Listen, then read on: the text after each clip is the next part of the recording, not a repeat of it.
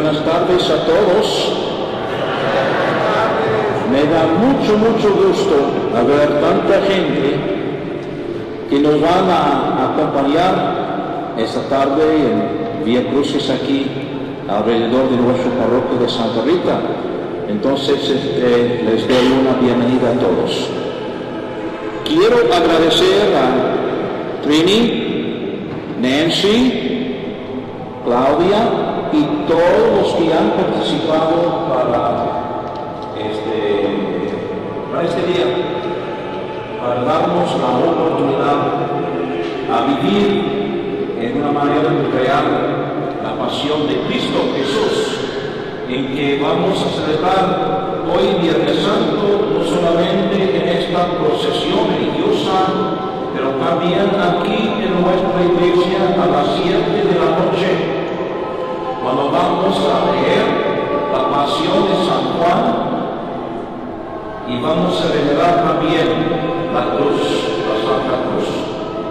Entonces, hermanos y hermanas, en el nombre del Padre y del Hijo y del Espíritu Santo, Señor Jesucristo,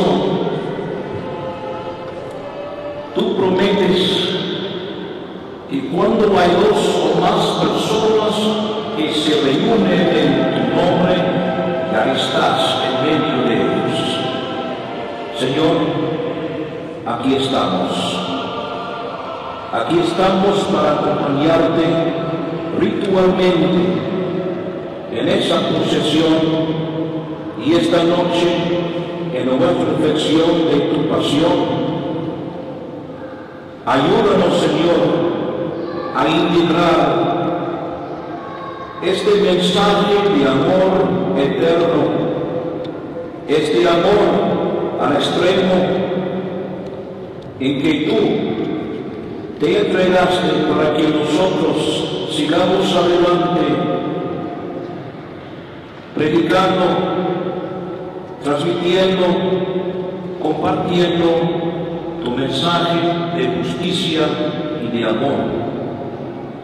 Bendice todos los personajes aquí, toda la asamblea, toda nuestra parroquia, para que sigamos adelante construyendo tu reino de misericordia. Te lo pedimos todo, Señor Jesús, en tu santo y sagrado nombre. Amén.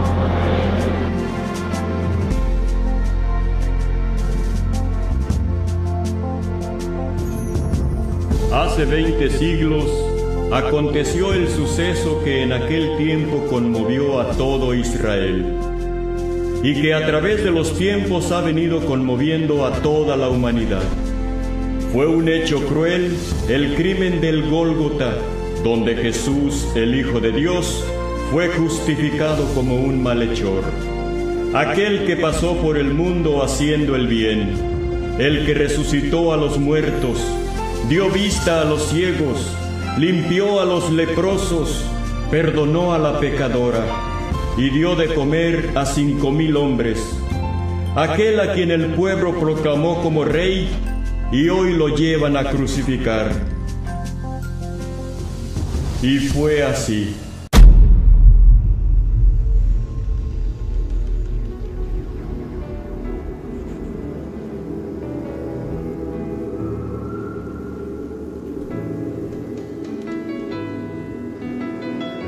Padre, si quieres aleja de mí este cáliz de amargura, pero no se haga mi voluntad, sino la tuya.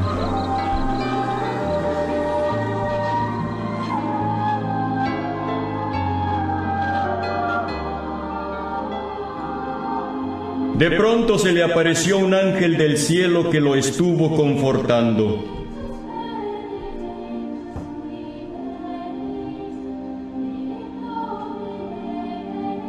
Él de angustia oraba más intensamente y comenzó a sudar gotas de sangre que corría hasta el suelo.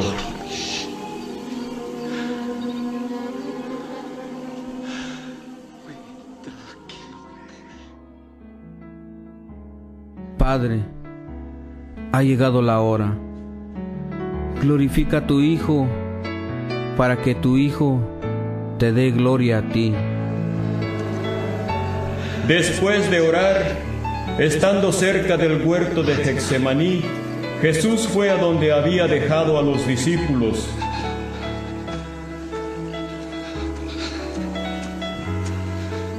Jesús los encontró dormidos, pues estaban rendidos por la tristeza, y les dijo, ¿Todavía están durmiendo?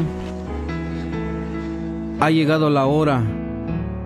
El Hijo del Hombre va a ser entregado a los hombres en manos de los pecadores. Vamos, levántense ya. El traidor está a punto de llegar.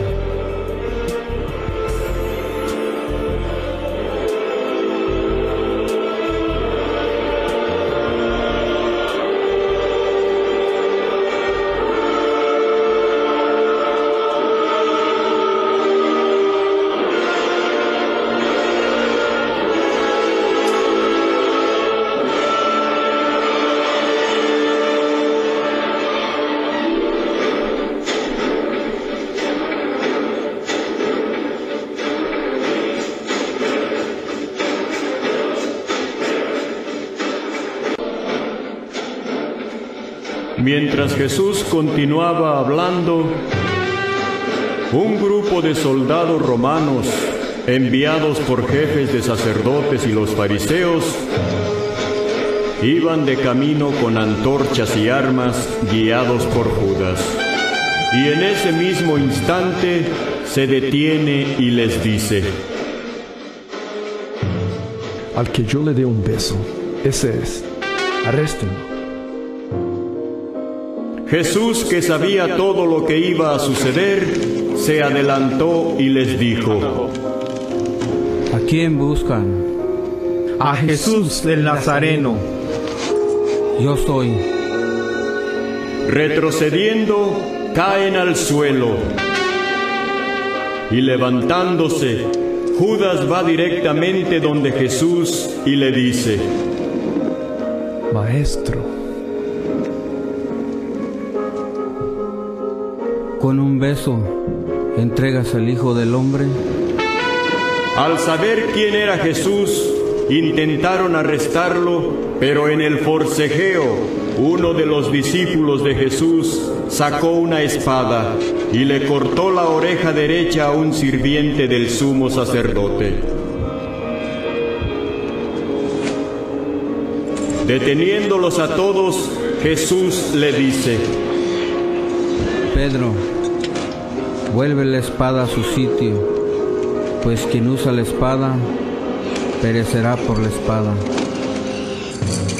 Volteando Jesús al sirviente lo miró y tocándolo lo sanó al instante.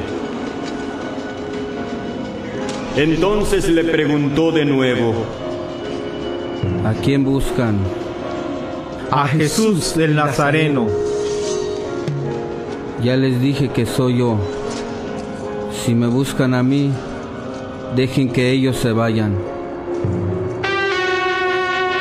De inmediato los soldados, el comandante y los guardias de los judíos aprendieron a Jesús.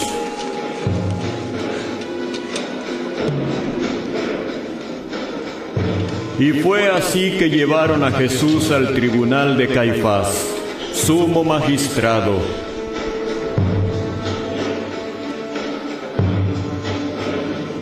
Donde es interrogado. Y allí le esperaba Caifás, sentado con las piernas cruzadas según su costumbre. Jesús el Hijo de Dios, juez de vivos y muertos, es tratado como un fascineroso y tiene que oír la más injusta sentencia de boca de Caifás y Anás. Personajes que no eran competentes para juzgar a Cristo. buscan testimonio para poder condenarlo, pero no los podían encontrar.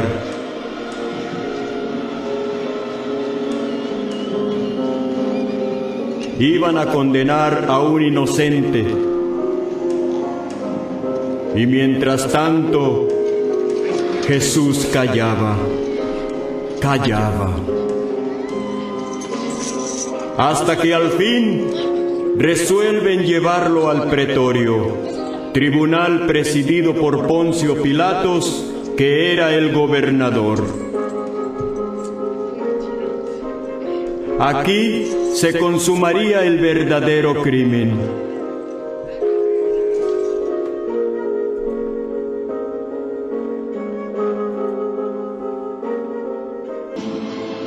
Mientras Pedro estaba fuera en el patio, se acercó una sirvienta de la casa y le dijo, ¿Tú también estabas con Jesús de Galilea?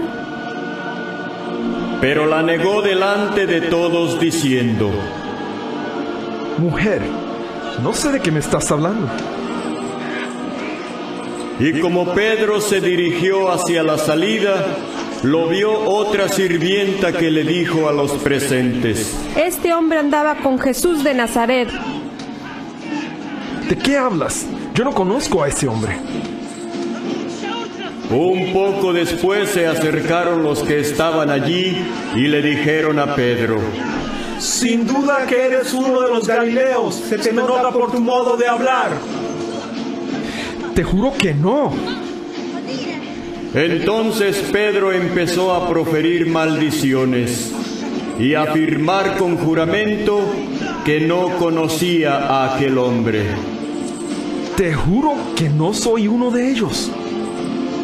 Y en aquel mismo momento cantó un gallo.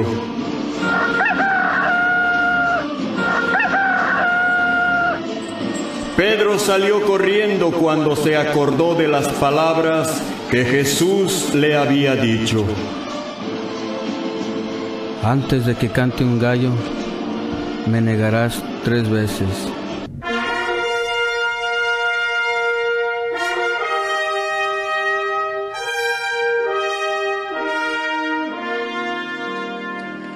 Era muy de mañana cuando llegaron con Jesús al pretorio, donde ya lo esperaba Poncio Pilatos.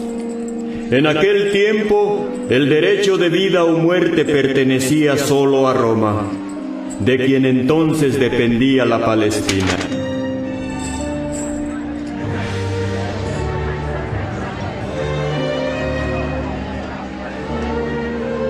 ¿Qué acusación traen contra este hombre? Es un perturbador y un malhechor, por eso lo ponemos en tus manos. Entonces júzguenlo ustedes. Y júzguenlo según su ley. A nosotros no nos está permitido dar muerte a nadie. A ti te compete eso. ¿Eres tú el rey de los judíos? ¿Dices eso por ti mismo o te lo han dicho otros de mí? ¿Soy yo acaso judío? Tu nación y tus principales de ella te han entregado a mí. ¿Qué has hablado? Yo he hablado públicamente al mundo. Siempre he enseñado en la sinagoga y en el templo, donde se reúnen todos los judíos, y nada he hablado oculto. ¿Por qué me preguntas a mí? Pregunta a los que han oído lo que he hablado. Y si he hablado mal, testifiquen que está mal. Y si está bien, ¿por qué me juzgan? En fin, ¿eres el rey de los judíos? Mi reino no es de este mundo. Si fuera mi reino de este mundo, mi gente me hubiera defendido, pero mi reino no es de aquí. Bueno, ¿eres tú rey? Tú dices que yo soy rey. Yo para eso he nacido, para dar testimonio a la verdad. ¿Qué es la verdad? En fin, yo no encuentro delito en este hombre. Llévenlo. Y azótenlo.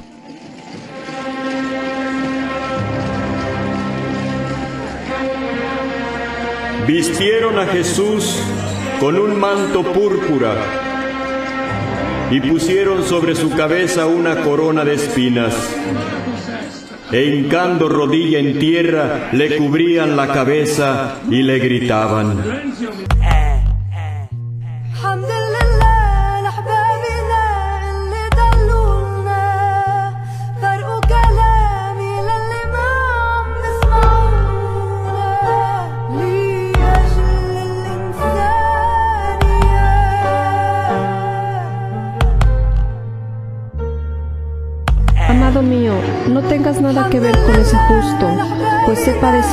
Por su causa. Anoche cuando dormía soñé con él. Tengo la absoluta seguridad que vas a condenar a un inocente. Yo te suplico que no manches tus manos con la sangre de ese justo. Como ustedes saben, por la Pascua tenemos la costumbre de soltar un preso.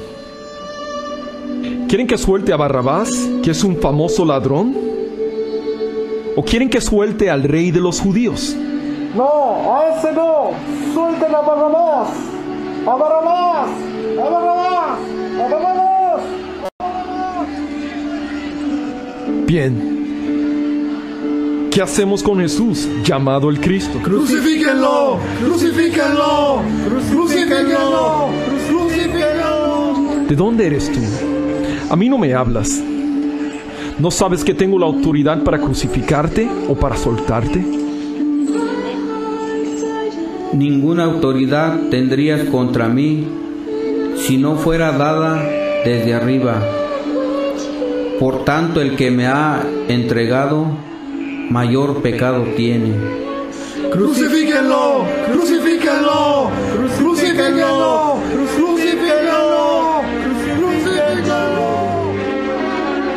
Si sueltas a ese, no eres amigo del César. Todo el que se hace rey es enemigo del César. A su rey he de crucificar. Bueno, queda en libertad Barrabás. Y he aquí a su rey. Ahí les entrego a Jesús. Inocente soy de este justo. Que, caiga su sangre sobre nosotros y sobre nuestros hijos. Yo me lavo las manos. Ahí se los entrego para que lo crucifiquen.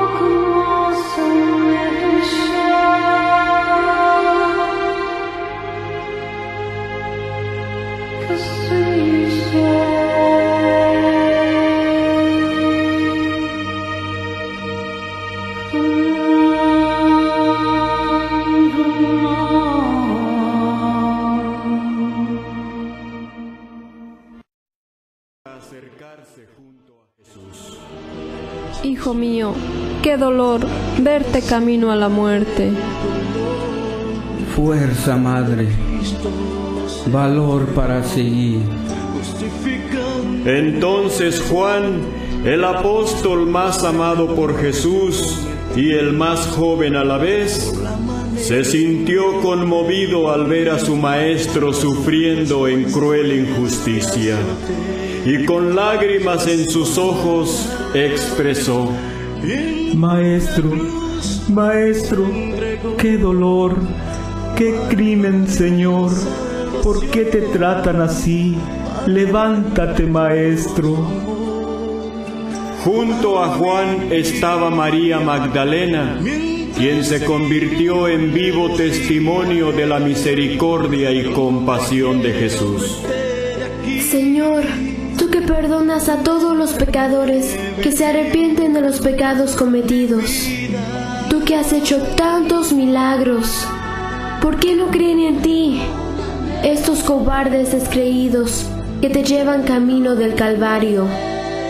Mujer, es preciso que yo muera en remisión de los pecados de todos los hombres. Entonces, que se cumpla tu voluntad, Maestro. Jesús, después de muchos esfuerzos, continúa su marcha, sucumbiendo el peso enorme de la cruz. Pero esa marcha es cada vez más penosa.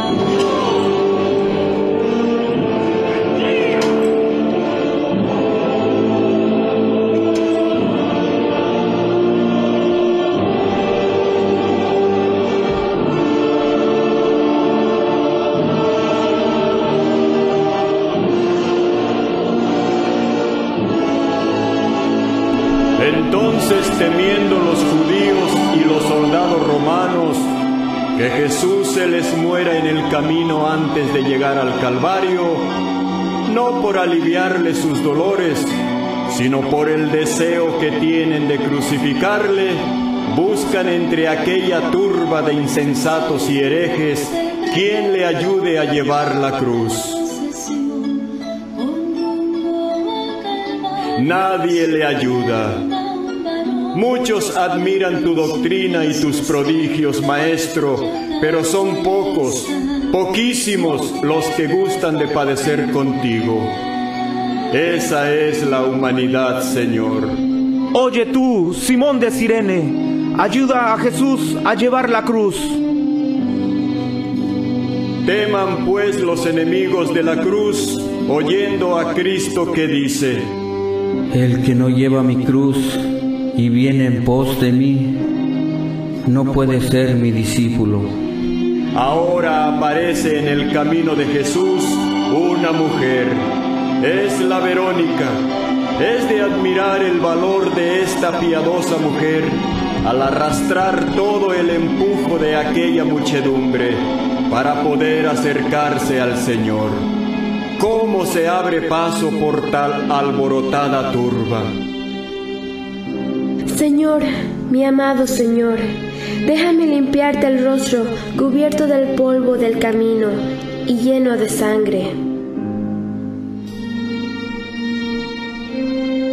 Es esto?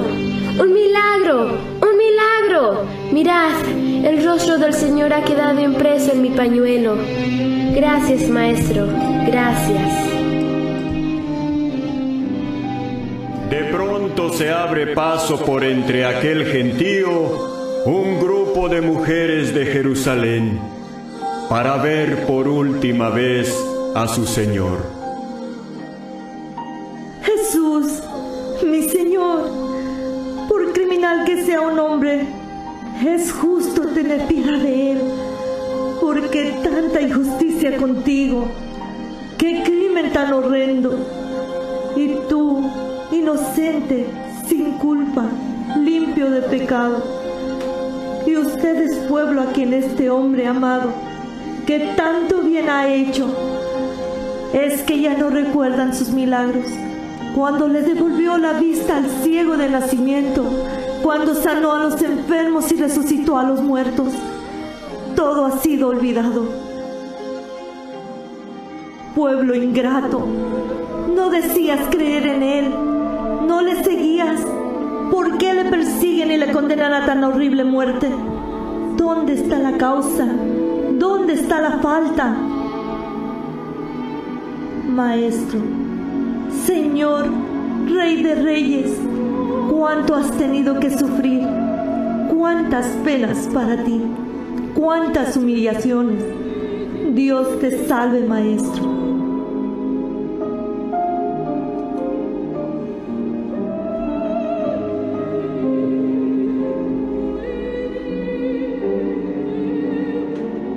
Mujeres de Jerusalén, no lloren por mí, llorar más bien por ustedes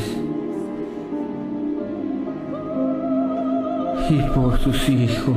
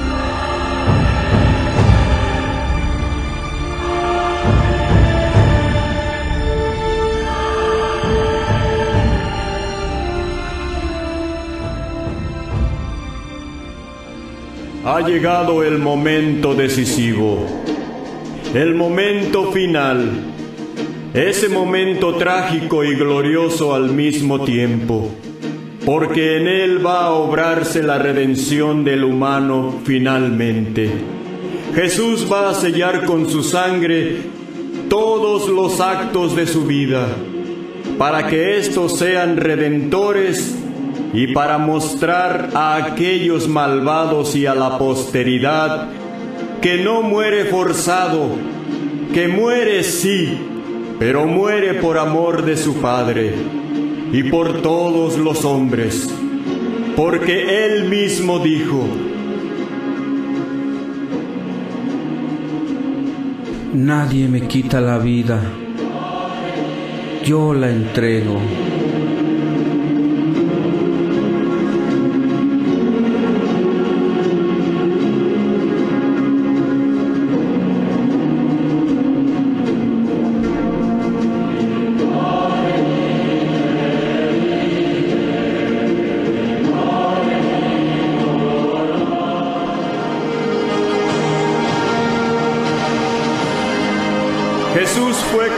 En la hora tercia y sobre su cabeza pusieron el título de su causa que decía, Este es el rey de los judíos. Todo lo contempla María su madre y junto a ella María Magdalena, María la mujer de Cleofás y Juan, el discípulo amado del Maestro. Y para que fuera mayor la infamia cometida por aquellos desalmados, y peor el ultraje y la humillación, crucificaron también a dos ladrones, situándolos a la diestra y siniestra de Jesús. Miró Jesús hacia el lugar donde se encontraba su madre y le dijo, Madre, he ahí a tu hijo. Hijo, he ahí a tu madre. Tengo sed. Al instante uno de los soldados corrió y tomando una esponja, la empapó en vinagre y poniéndola en una caña le dio a beber.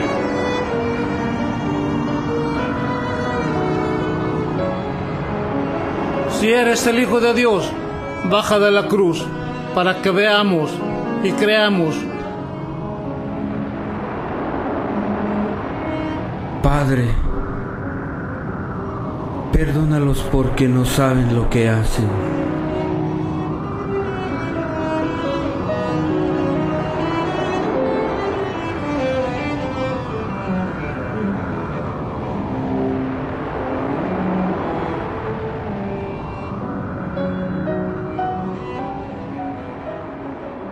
¿No eres tú el rey de los judíos?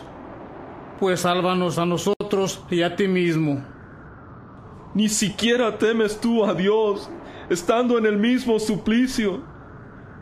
Lo nuestro es justo, porque recibimos el pago de lo que hicimos. En cambio, este no ha faltado en nada. Jesús, acuérdate de mí cuando llegues a tu reino. En verdad, en verdad te digo que hoy mismo estarás conmigo en el reino de mi Padre. Dios mío, Dios mío, ¿por qué me has abandonado?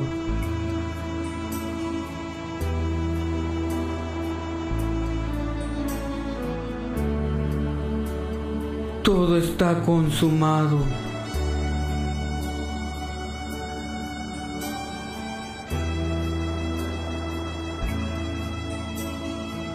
Padre mío, en tus manos encomiendo mi espíritu.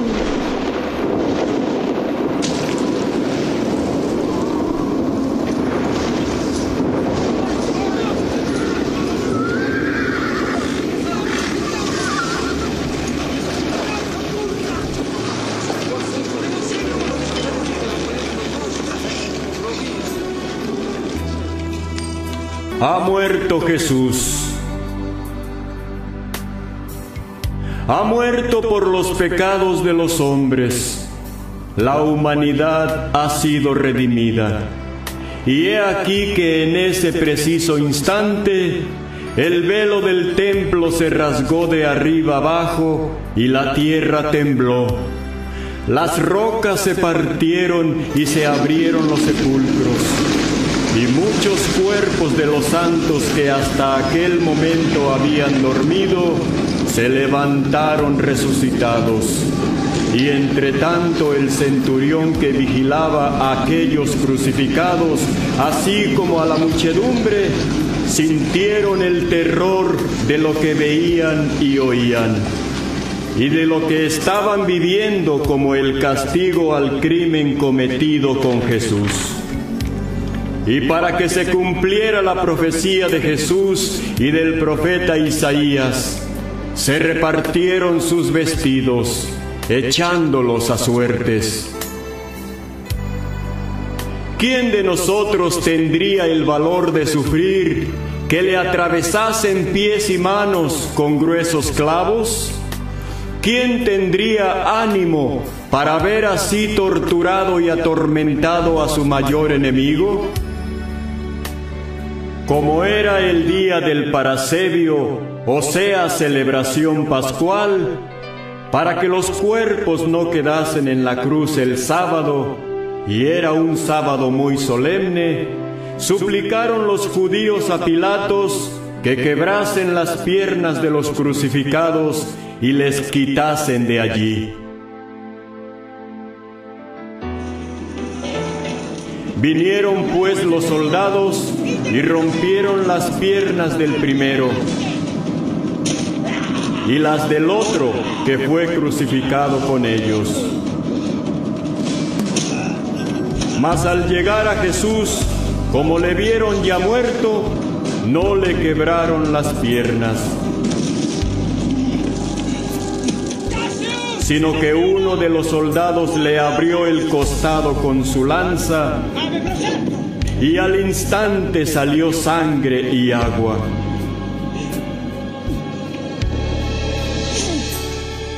Luego los amigos de Jesús lo bajaron con amor de la cruz.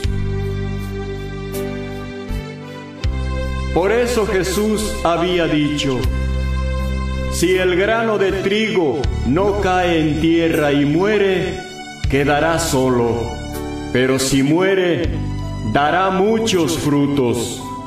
Y si yo fuera levantado de la tierra, atraeré a todos a mí.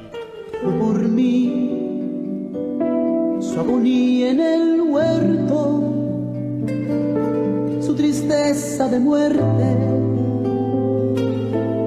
profundo dolor. Fue por mí que le dieron la espalda, que le hicieron cautivo y Judas le traicionó. Fue por mí que golpearon su cara, muchos le empujaban y que Pedro tres veces le negó. Fue por mí esas horas de angustia, las mentiras, las burlas y tanta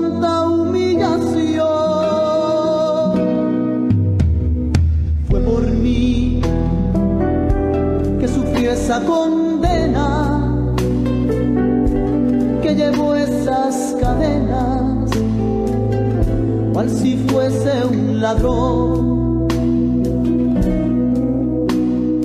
Fue por mí que azotaron Hijo mío, yo que te tuve en mis brazos en Belén, y ahora te veo destrozado, muerto por quien tanto amaste, y a los que tanto bien hiciste. Una espada de dolor traspasa mi alma. Dime si en el mundo hay otro dolor semejante al mío. Tan pronto en mis brazos. cavado en una roca, propiedad de José de Arimatea.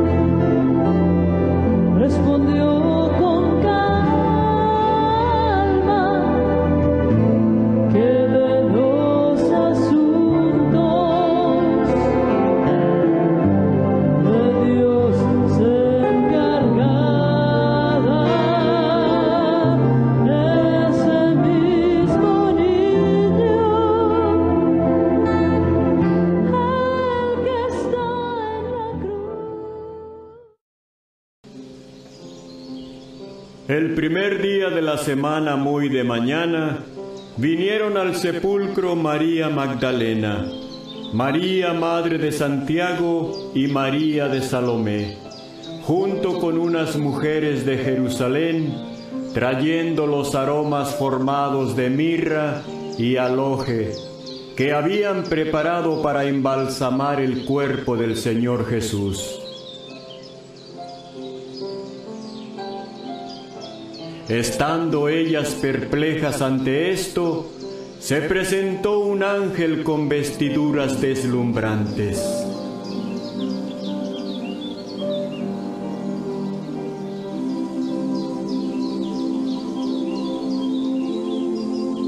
¿A quién buscan? A Jesús de Nazaret. ¿Por qué buscan entre los muertos? Ha resucitado para nunca más morir.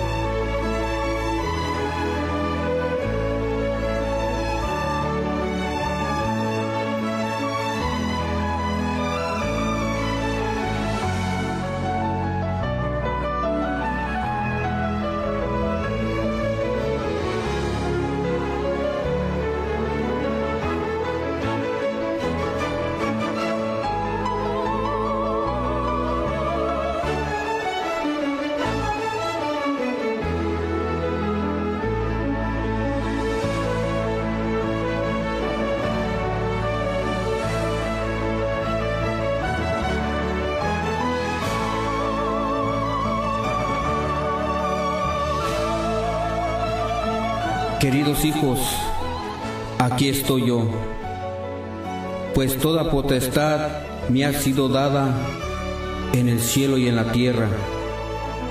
Por tanto, ir y hacer discípulos a todas las naciones y compartir con ellas las enseñanzas de mi Padre.